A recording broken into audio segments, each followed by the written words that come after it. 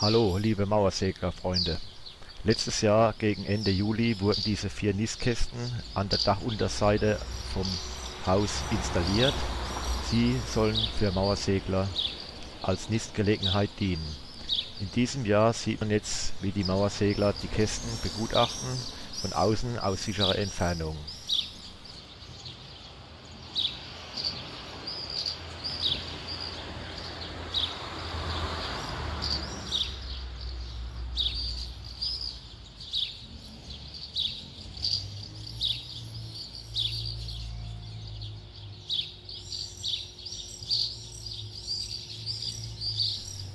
An dem hintersten Kasten, der Kasten Nummer 10, äh, neben den drei Schwalbennestern, dieser wurde mit einem Lockrufgerät äh, ausgestattet, um die Mauersegler auf die Nisthilfen aufmerksam zu machen. Dies hat auch schon Wirkung gezeigt, sonst wären sie nicht auf diese Nistkästen aufmerksam geworden.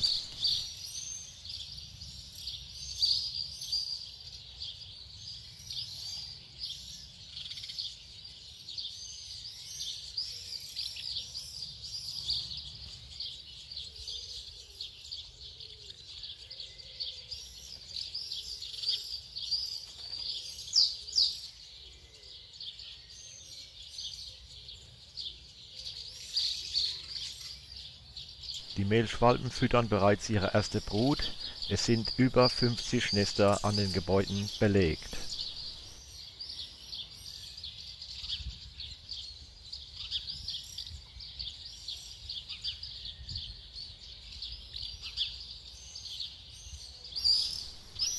Die Mehlschwalben empfinden die Mauersegler nicht als Störung, aber die Mauersegler vertragen sich nicht mit den Sperlingen, das wird man später sehen.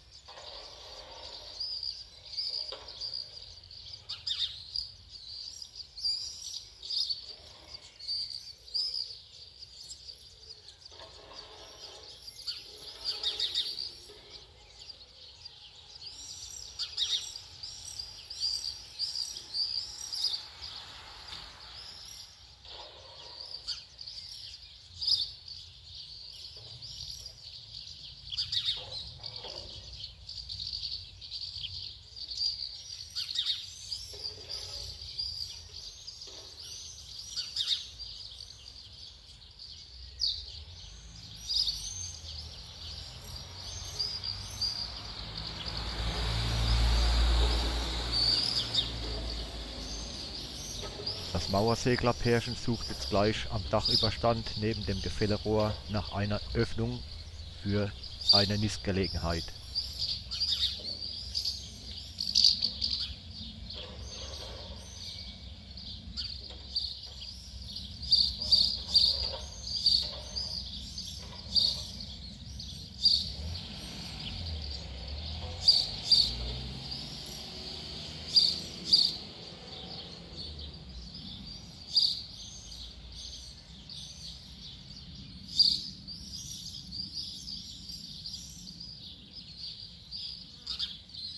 Gleich kommt der Mauersegler auf die Hauswand zugeflogen, aber der Sperling attackiert ihn mit Ruflauten.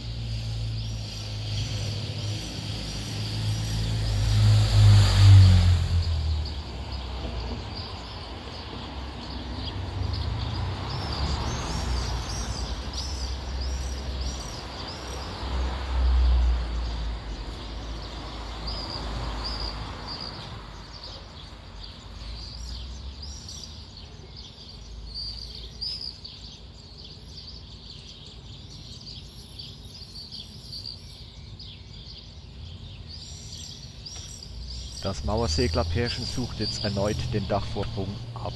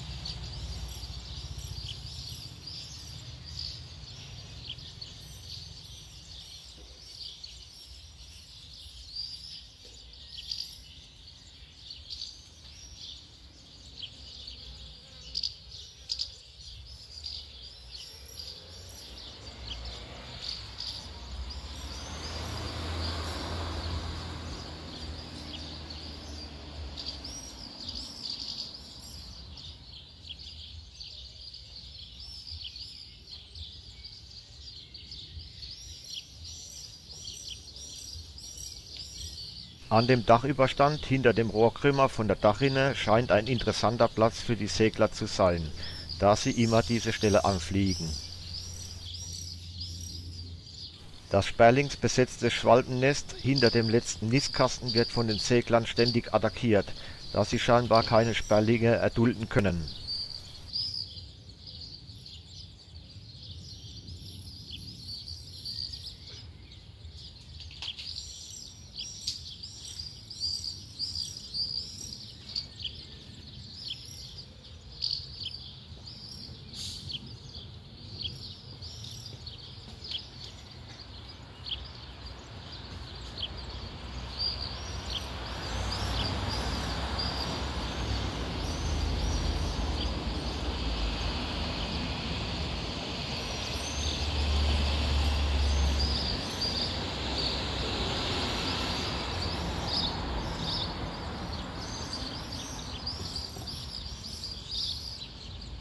Mauersegler suchen bevorzugt ihre Nistplätze zwischen Dachrinne und Dachvorsprung, dies ist gleich zu sehen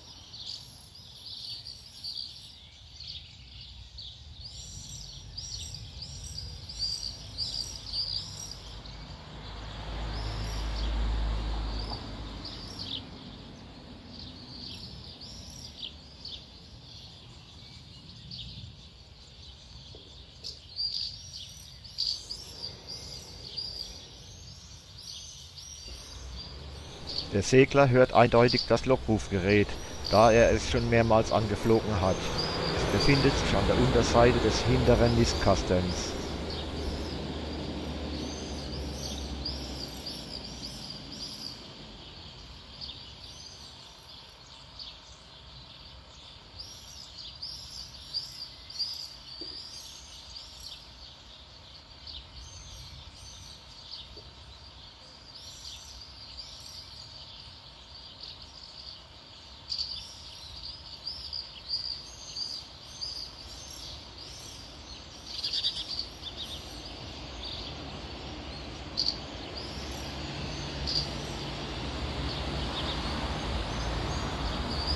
Die nur kurze Balz- und Nestsuchezeit der Mauersegler befindet sich auf dem Höhepunkt.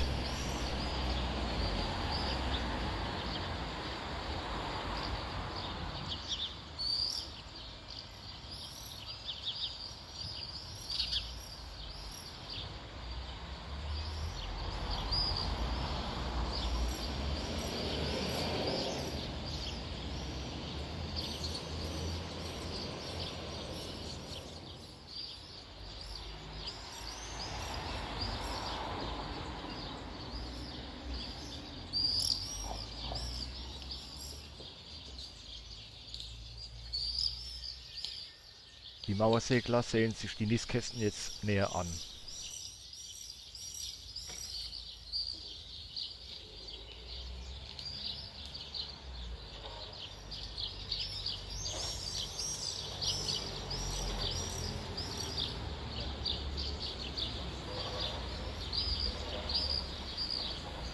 Gleich fliegt der Segler wieder hinter die Dachrinne, zwischen Dachvorsprung und Dachrinne, um eine Nistgelegenheit zu suchen. Solche Stellen sind bei den Mauerseglern bevorzugt.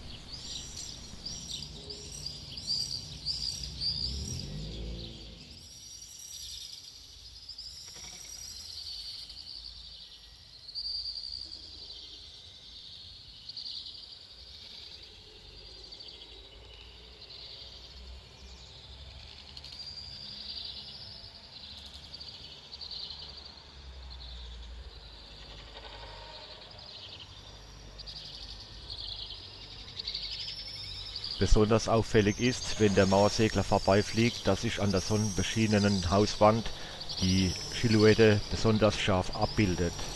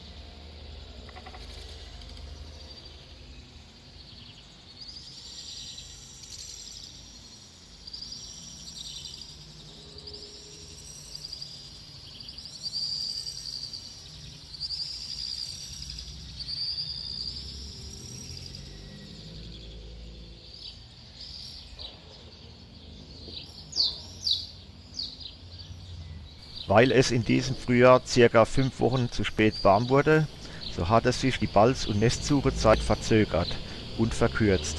Außerdem hatte die Dauerbaustelle mit viel Lärm über die letzten Wochen die Besiedlung der Nistkästen negativ beeinflusst. Aus diesem Grund kam es zu keiner Annahme der Nistkästen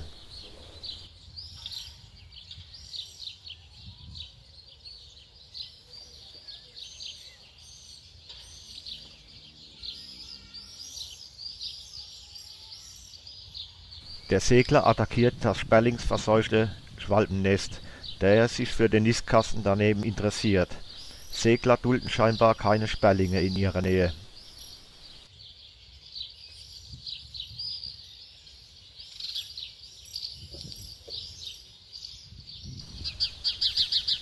Nachdem die Balzzeit bei den Seglern beendet war, so kontrollierte ich die Nistkästen. Ich musste leider feststellen, dass sich mehrere Mästen darin angesiedelt haben. Dies ist sicherlich auch ein Grund, weshalb die Kästen nicht angenommen wurden